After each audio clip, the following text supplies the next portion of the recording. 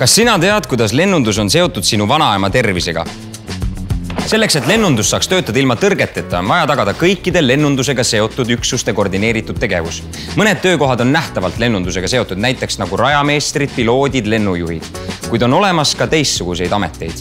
et üks lend saaks toimuda, on vaja veel palju rohkemat. selleks on lennunduses olemas taustajõud lennunduskorralduse eriala lõpetajana saab sinust laialdaste majandus- ning juhtimisalaste teadmistega spetsialist, kes on võimeline vastutama lennundusettevõtte igapäevase juhtimise ning arendustegevuse eest.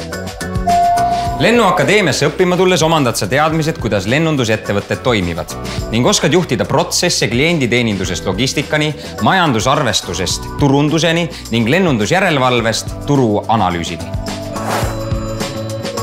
nii et järgmine kord kui su vanaema vajab välismaalt mõnda olulist ravimit, saad just sina olla see, kes aitab selle talle kohale toimetada